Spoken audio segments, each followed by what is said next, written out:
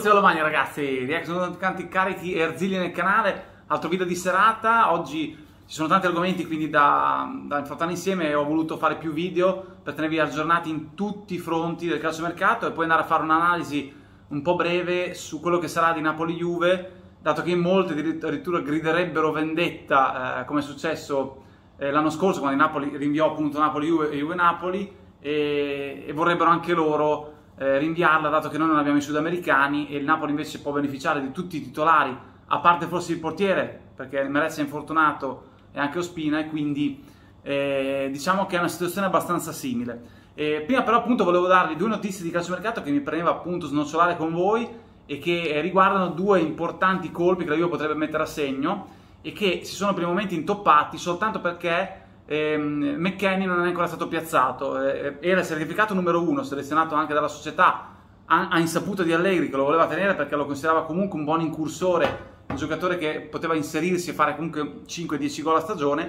però eh, alla fine potrebbe essersi eh, sacrificato per gennaio e eh, appunto i talenti su cui due punta sarebbero Chouameni, di cui abbiamo già parlato, Aurélien Chouameni, giocatore di classe 2000 del Monaco, che come sapete tutti non ha passato il turno di eliminazione eh, dell'Europa League appunto per andare in Champions e quindi ehm, purtroppo eh, ha bisogno di, di, di, rimanere lì ancora fino a gennaio per poi pensare di potersi muovere a Torino dove avrebbe la chance di giocare la Champions League qualora appunto fosse messo nella lista Champions, chiaramente da Allegri. E l'altro è Bruno Guimaraes, altro giocatore, un mediano del Lione, altro giovane promettente che appunto avrebbe diciamo, alzato l'attenzione di, di Cherubini arriva bene Danielli. E quindi potrebbe esserci anche un colpo in quella direzione se non si dovesse arrivare a Chouameni. Quindi sono due nomi che vanno tenuti lì, appunto nel taccuino. Eh, il valore di mercato si aggira attorno ai 30-40 milioni, proprio il valore di McKenny, che appunto la Juve ha chiesto ehm, diciamo come contributo per compensare il, eh, eh, il valore del giocatore e soprattutto fare plusvalenza, dato che noi ne abbiamo pagati 20,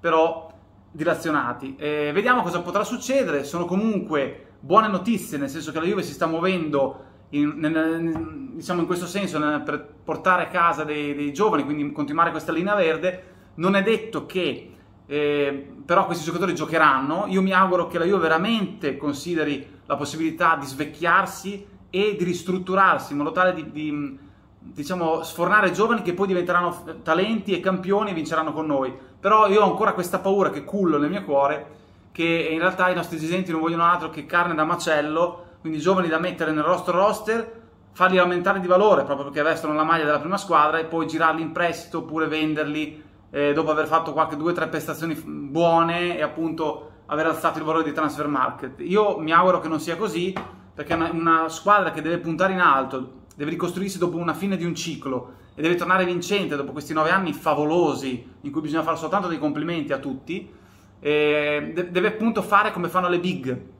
Le big d'Europa non si azzarderebbero mai a continuare a speculare sui giovani, girarli in prestito ovunque, ehm, oppure andare su parametri zero, eh, oppure sopravvalutare giocatori, non sbaglierebbero mai delle, ehm, eh, come si dice, delle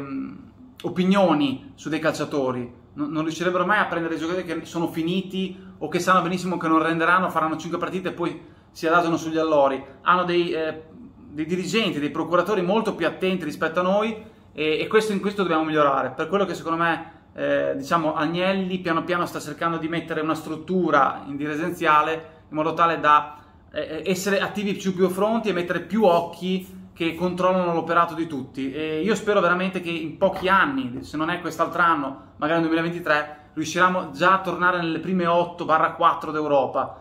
E il processo è lungo, lo sappiamo, hanno messo Allegri sperando appunto di tamponare le ferite e tamponare anche le lacune che questa rosa ha ed sono evidenti, in modo da avere la massima resa spendendo poco. Chiaro che potremmo aspettarsi veramente un anno di magra, come molti di voi giustamente hanno detto nei commenti, anche non vincere il campionato, non vincere eh, nulla diciamo, a livello nazionale, magari solo una Coppa Italia o una Supercoppa, quindi un trofeo quest'anno, però diciamo ehm, ripianare il bilancio, risanarsi a livello economico e avere grande potere d'acquisto nel 2022-2023 andando su giovani forti come appunto vi ho detto Ciomeni e Guerimarais per il centrocampo, Vlaovic per l'attacco, e Milenkovic per la difesa, insomma i nomi ci sono, la Juve deve solo aspettare il momento giusto eh, per essere diciamo eh, sana eh, economicamente e soprattutto avere una mentalità di nuovo vincente, una consapevolezza nei propri mezzi, una progettualità chiara e concisa che diciamo metta sullo stesso piano e su una linea universale allenatore, dirigenza e giocatori, perché è fondamentale. E, io sono convinto che, come molti di voi hanno detto e mi hanno fatto anche notare, eh, in maniera positiva che ce la faremo, se non quest'anno appunto negli anni prossimi. E confido chiaramente in Allegri, adesso i primi video li ho fatti abbastanza tosti e mm, arrabbiati, eh, arcigni, proprio perché eh, volevo dare l'idea di quello che non era successo, quello che non aveva fatto la Juve sul mercato, ma senza dare sentenze, senza essere troppo severo, l'avevo fatto soltanto per analizzare e argomentare la situazione della Juve, sperando nel meglio, perché quello che mi auguro, chiaramente essendo juventino nel, dal midollo, eh, spero sempre che eh, ci siano risvolti positivi d'ora in poi eh, a livello societario, a livello di rosa e di allenatore e, e quindi piano piano comincerò ad andare sul lato positivo della questione, cercando appunto di creare un'energia positiva attorno all'ambiente, in modo tale di essere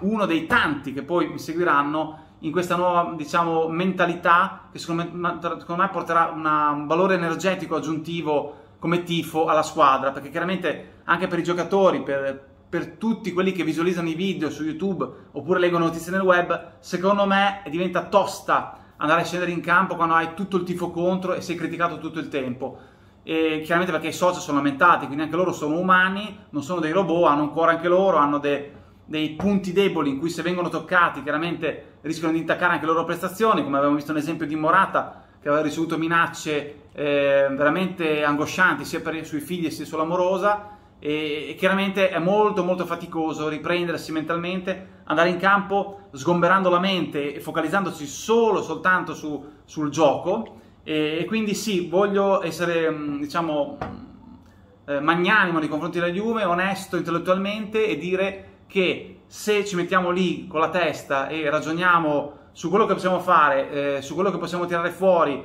contando il valore della rosa che abbiamo, eh, potremmo almeno diciamo, ehm, colmare il gap che in questo momento abbiamo purtroppo con l'Inter, la Lazio, il Milan, di vedere anche la Roma e l'Atalanta e cercare di gio- giocarci il quarto posto, diciamo, con tutta la forza possibile e immaginabile, anche facendo leva sul senso di orgoglio, di appartenenza alla maglia e soprattutto la voglia di dimostrare che non sono delle scarpe rotte i giocatori, ma che valgono ancora tanto perché secondo me un minimo di orgoglio nei giocatori verrà fuori sicuramente, anche veicolato da, da Chiellini e Bonucci che secondo me faranno di tutto pur di, di, rianimare questa squadra e farla rendere al meglio e farla puntare a degli obiettivi. Fatemi sapere cosa ne pensate del video, lasciate un bel pollicione, iscrivetevi al canale e attivate la campanella. A presto ragazzi!